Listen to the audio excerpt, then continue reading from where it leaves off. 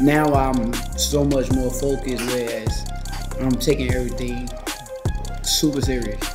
I'm not just getting away with my talent, because at times before I was getting away with my talent, but now it's like I'm putting the discipline in with the talent. I believe Shakur Stevenson has dog in him. I believe, obviously, we've seen the skill set on display. I look at it like it's about time. I feel like I get to get my feet wet at 135. After I get my feet wet, then we on to who, whichever one of them want the, the smoke with me. If you look at Shakur's body, you look how he's filling out.